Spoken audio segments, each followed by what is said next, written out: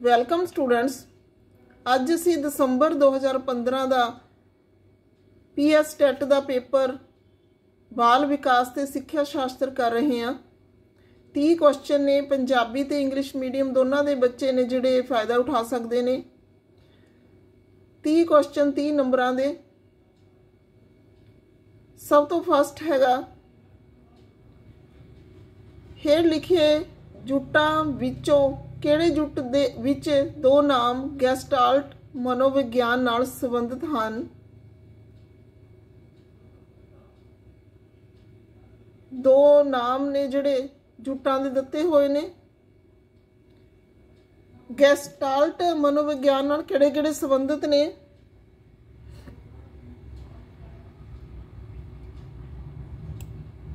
ਕਾਫਕਾ, Wundt, Watson ਤੇ Kohler. Intra individual differences ਸੰਕਲਪ ਤੋਂ ਕੀ ਭਾਵ ਹੈ?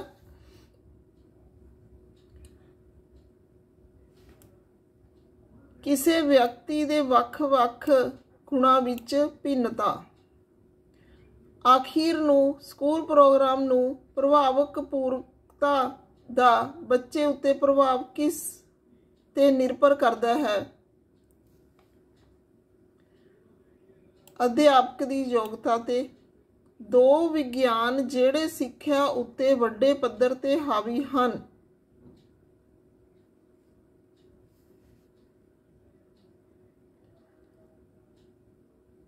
ਦੋ ਵਿਗਿਆਨ ਜਿਹੜੇ ਸਿੱਖਿਆ ਉੱਤੇ ਵੱਡੇ ਪੱਧਰ ਤੇ ਹਾਵੀ ਹਨ ਕਿਹੜੇ ਕਿਹੜੇ ਨੇ ਉਹ?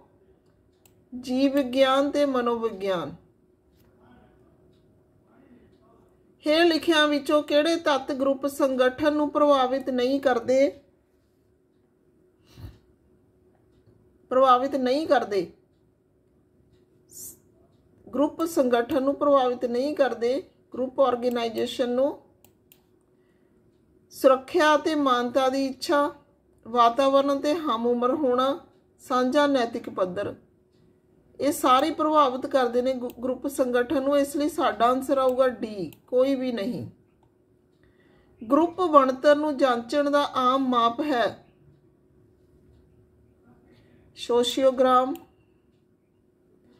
ਪ੍ਰਭਾਵਸ਼ਾਲੀ ਬੱਚਿਆਂ ਤੇ ਵਿਸਤ੍ਰਿਤ ਖੋਜ ਕਿਸਨੇ ਕੀਤੀ? ਲਿਓ ਸਟਰਮਨ ਨੇ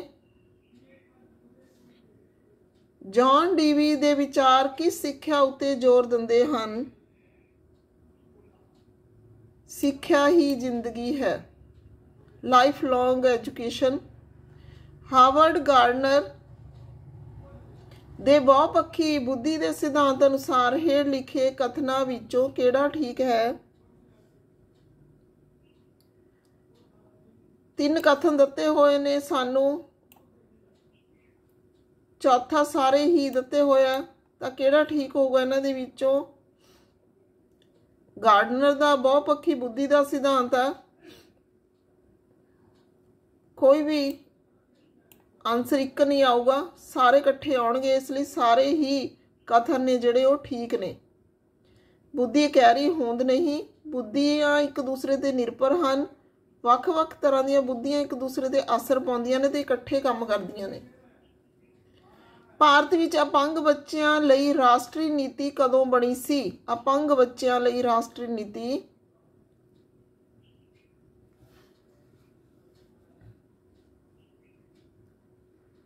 ਦੋ ਹਜ਼ਾਰ ਛੇ ਵਿੱਚ। ਐਕਸਟਿੰਕਸ਼ਨ ਕਦੋਂ ਵਾਪਰਦੀ ਹੈ? ਚਾਰ ਆਪਸ਼ਨ ਦਿੱਤੇ ਹੋਏ ਨੇ। ਜੀਵ ਦਾ ਕੁਦਰਤੀ ਅਨੁਕਿਰਿਆ ਵਿੱਚ ਪ੍ਰਵਲਨ ਨਾ ਹੋਣਾ, ਜਦੋਂ ਅਨੁਕੂਲਨ ਉਤੇਜਨਾ ਨਾਲ ਪ੍ਰਵਲਨ ਸੰਮਲਿਤ ਨਾ ਹੋਵੇ ਉਤੇਜਨਾ ਨਾਲ ਇਨਾਮ ਪ੍ਰਾਪਤੀ ਨਾ ਜੁੜੀ ਹੋਵੇ, ਅਨੁਕੂਲਨ ਅਨੁਕਿਰਿਆ ਦਾ ਪ੍ਰਵਲਨ ਨਾ ਹੋਣਾ। ਰੀਇਨਫੋਰਸਮੈਂਟ ਨਾ ਹੋਣੀ, ਇਹਦਾ ਆਨਸਰ ਡੀ ਆਊਗਾ। ਪ੍ਰਵਲਨ ਸਾਰਣੀ ਜੋ ਕਿ ਸਭ ਤੋਂ ਘੱਟ ਨਤੀਜੇ ਦਿਖਾਉਂਦੀ ਹੈ। ਚਾਰ ਆਪਸ਼ਨ ਦਿੱਤੇ ਹੋਏ ਨੇ। ਸਭ ਤੋਂ ਘੱਟ ਨਤੀਜੇ ਦਿਖਾਉਂਦੀ ਆ। ਫਿਕਸਡ ਇੰਟਰਵਲ ਸ਼ੈਡਿਊਲ ਤਾਂ ਸਾਡਾ ਆਨਸਰ ਆਊਗਾ ਫਿਕਸਡ ਇੰਟਰਵਲ ਸ਼ੈਡਿਊਲ ਨਿਸ਼ਚਿਤ ਵਿਥ ਸਾਰਣੀ। ਡਿਫਰੈਂਸ਼ੀਅਲ ਇਨਹੈਬਿਟੇਸ਼ਨ ਤੱਥ ਕਿਸ ਨਾਲ ਸੰਬੰਧਿਤ ਹੈ?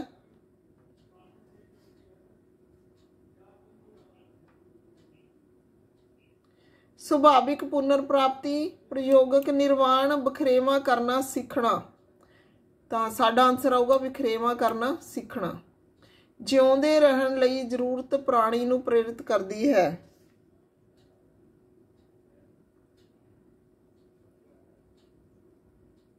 ਸਰੀਰਕ ਲੋੜਾਂ ਦੀ ਪੂਰਤੀ ਲਈ। ਇੱਕ ਸਕੂਲ ਜਾਣ ਵਾਲੇ ਬੱਚੇ ਦਾ ਆਈਕਿਊ ਟੈਸਟ ਲੈਣ ਦਾ ਕਿਹੜਾ ਮੁੱਖ ਉਦੇਸ਼ ਪੂਰਾ ਹੁੰਦਾ ਹੈ? ਲੈਣ ਨਾਲ ਕਿਹੜਾ ਮੁੱਖ ਉਦੇਸ਼ ਪੂਰਾ ਹੁੰਦਾ ਹੈ? ਬੱਚੇ ਤੋਂ ਵਾਜਿਬ ਉਮੀਦਾਂ ਰੱਖਣ ਲਈ ਅਧਿਆਪਕ ਦੀ ਮਦਦ ਕਰਨ ਲਈ। ਕਈ ਵਾਰੀ ਅਸੀਂ ਉਮੀਦ ਵੱਧ ਰੱਖ ਲੈਂਦੇ ਆ ਬੱਚਾ ਜਿਹੜਾ ਹੈ ਉਹ ਉਹਨਾਂ ਕੈਪੇਬਲ ਨਹੀਂ ਹੁੰਦਾ, ਤਾਂ ਇਸ ਲਈ ਆਈਕਿਊ ਟੈਸਟ ਹੈ ਜਿਹੜਾ ਉਹ ਬਹੁਤ ਸਹਾਇਕ ਸਿੱਧ ਹੁੰਦਾ ਟੀਚਰ ਲਈ। ਕਿ ਬੱਚਾ ਜਿਹੜਾ ਉਹ ਕਿਸ ਮੈਂਟਲ ਲੈਵਲ ਤੇ ਹੈਗਾ, ਤਾਂ ਇਸ ਤਰ੍ਹਾਂ ਨਾਲ ਅਸੀਂ ਕਹਿ ਸਕਦੇ ਹਾਂ ਕਿ ਬੱਚੇ ਤੋਂ ਬਾਜ਼ੀ ਉਮੀਦਾਂ ਰੱਖਣ ਲਈ ਅਧਿਆਪਕ ਦੀ ਮਦਦ ਕਰਦਾ ਏ। ਦੋ ਲੜਕਿਆਂ ਦਾ IQ 120 ਹੈ, ਇਸ ਤੋਂ ਕੀ ਸਿੱਟਾ ਕੱਢਦੇ ਹਾਂ? ਲੜਕਿਆਂ ਦੀ ਮਾਨਸਿਕ ਉਮਰ ਬਰਾਬਰ ਹੈ। ਦੋਵੇਂ ਲੜਕਿਆਂ ਦੇ ਮਾਪੇ ਔਸਤ ਬੁੱਧੀ ਤੋਂ ਉੱਪਰ ਹਨ। ਦੋਨੋਂ ਲੜਕੇ ਅਕਾਦਮਿਕ ਪ੍ਰਦਰਸ਼ਨ ਵਿੱਚ ਸਫਲ ਹੋਣਗੇ। ਉਪਰੋਕਤ ਕੋਈ ਵੀ ਪੱਕੇ ਤੌਰ ਤੇ ਠੀਕ ਨਹੀਂ ਕਿਹਾ ਜਾ ਸਕਦਾ। ਤਾਂ ਸਾਡਾ ਆਨਸਰ ਆਊਗਾ ਡੀ ਬ੍ਰੇਨ ਸਟਾਰਮਿੰਗ ਤਕਨੀਕ ਜ਼ਰੂਰੀ ਤੌਰ ਤੇ ਵਰਤੀ ਜਾਂਦੀ ਹੈ। ਬ੍ਰੇਨ ਸਟਾਰਮਿੰਗ ਆਮ ਮਾਨਸਿਕ ਯੋਗਤਾ ਵਿਕਸਿਤ ਕਰਨ ਲਈ ਕੇਂਦਰ ਮੁਖੀ ਸੋਚ ਨੂੰ ਪ੍ਰਫੁੱਲਤ ਕਰਨ ਲਈ ਗਤੀਵਿਧੀਆਂ ਨੂੰ ਗਤੀਵਿਧੀਆਂ ਵਿੱਚ ਰੁਚੀ ਵਧਾਉਣ ਲਈ, ਰਚਨਾਤਮਕਤਾ ਵਿੱਚ ਉਤਸੁਕਤਾ ਵਧਾਉਣ ਲਈ। ਤਾਂ ਅਸੀਂ ਕਹਾਂਗੇ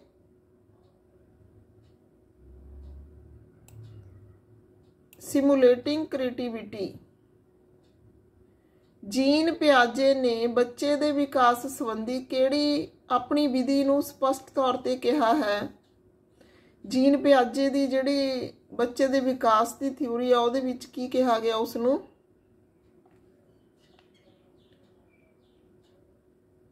ਜੈਨੇਟਿਕ ਐਪਿਸਟੇਮੋਲੋਜੀ ਅਨੁਵੰਸ਼ਕ ਗਿਆਨ ਮੀਮਾਸਾ। ਹੇਠ ਲਿਖੇ ਵਿਸ਼ੇਸ਼ਣਾਂ ਵਿੱਚੋਂ ਕਿਹੜਾ ਵਧੀਆ ਅਨੁਸ਼ਾਸਨ ਨੂੰ ਦਰਸਾਉਂਦਾ ਹੈ? ਡਿਵੈਲਪਮੈਂਟ ਕਿਸ਼ੋਰ ਆਪਣੇ ਆਪ ਨੂੰ ਮਾਪਿਆਂ ਦੇ ਕੰਟਰੋਲ ਤੇ ਨਿਗਰਾਨੀ ਤੋਂ ਛੁਟਕਾਰਾ ਪਾਉਣ ਦੀ ਕੋਸ਼ਿਸ਼ ਕਰਦੇ ਹਨ, ਕਿਉਂਕਿ ਉਹ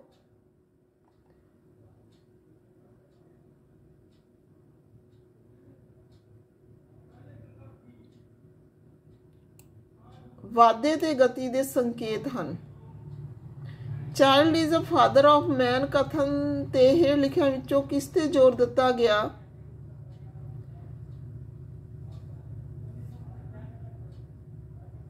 ਕਿਸ ਨੇ ਜ਼ੋਰ ਦਿੱਤਾ? ਸਿਗਮੰਡ ਫਰਾਈਡ ਨੇ। Mind is, mind in society ਕਿਤਾਬ ਦਾ ਲੇਖਕ ਕੌਣ ਹੈ? Vygotsky the moral judgement of the child ਕਿਤਾਬ ਕਿਸ ਨੇ ਲਿਖੀ? ਪਿਆਜੇ ਨੇ। ਆਮ ਤੌਰ ਤੇ ਬੁੱਧੀ ਨੂੰ ਪਰਿਭਾਸ਼ਿਤ ਕਰਨ ਲਈ ਕਿਸ ਕਿਸਮ ਦੀ ਪਰਿਭਾਸ਼ਾ ਵਰਤੀ ਜਾਂਦੀ ਹੈ? ਕਾਰਜਸ਼ੀਲ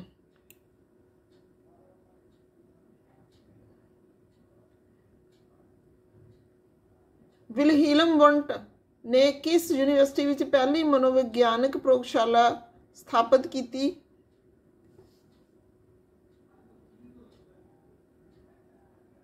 ਲੇਪਜ਼ਿਗ ਉਹ ਸਮਾਂ ਜਿਸ ਦੌਰਾਨ ਕਿਸੇ ਸਮੱਸਿਆ ਉੱਤੇ ਬਹੁਤਾ ਚੇਤਨ ਵਿਚਾਰ ਨਹੀਂ ਕੀਤਾ ਜਾਂਦਾ।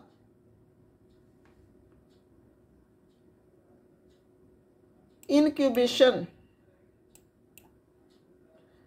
ਹੇਠ ਲਿਖਿਆਂ ਵਿੱਚੋਂ ਕਿਸ ਪੱਖ ਦੇ ਉੱਤੇ ਗੈਸਟਾਲਟ ਮਨੋਵਿਗਿਆਨ ਦੁਆਰਾ ਜ਼ੋਰ ਨਹੀਂ ਦਿੱਤਾ ਗਿਆ?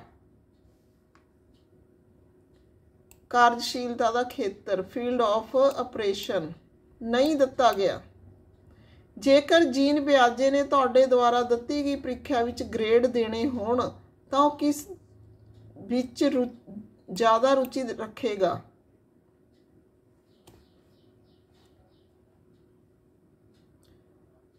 ਤੁਸੀਂ ਆਪਣੇ ਉੱਤਰ ਕਿਵੇਂ ਦਿੱਤੇ? ਵਿਕਾਸਾਤਮਕ ਸ਼ਬਦਾਵਲੀ ਅਨੁਸਾਰ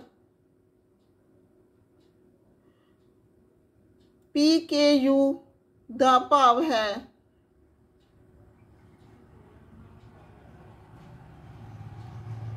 ਚਾਰ ਆਪਸ਼ਨ ਦਿੱਤੇ ਹੋਏ ਨੇ ਤੁਹਾਨੂੰ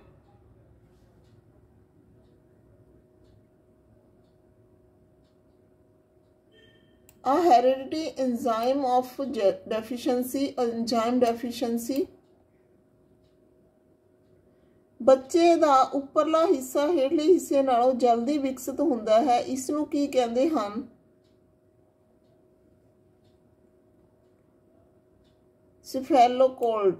ਕੋਡਲ।